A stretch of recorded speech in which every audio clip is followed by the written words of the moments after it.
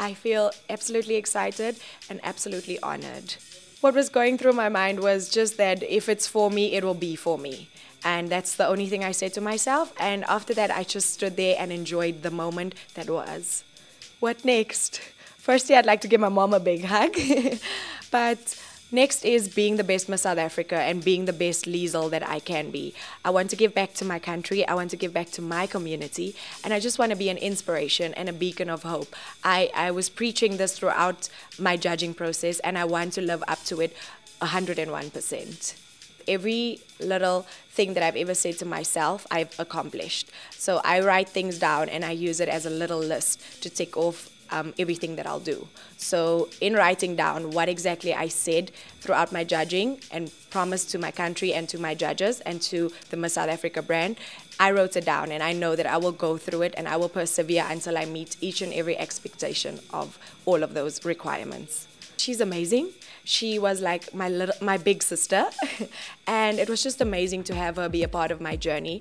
From the moment she was told that she was my mentor, she stepped in and she helped me with the words, "If you need anything, I'm here." It would be small little things. Sometimes I needed wet wipes for my to to wipe off my makeup, and other times I just needed a shoulder to cry on. You know, sometimes you need someone to shake you a little bit and say it's going to be okay, and life will be tough, but you need to move on. And she was there through the tears, through the laughter, and through all the crazy and exciting experiences.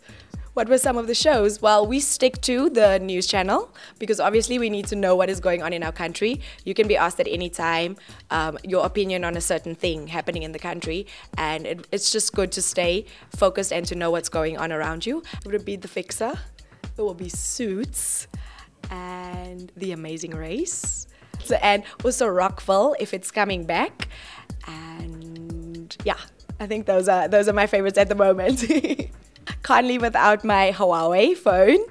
Um, can't live without lip gloss because you never know when there'll be a photo opportunity. Um, my Bible and a kiss from my gran. I just would like to say thank you to South Africa. Thank you to Sun International and Cell C for believing in me. And I'm ready for the role of Miss South Africa 2015.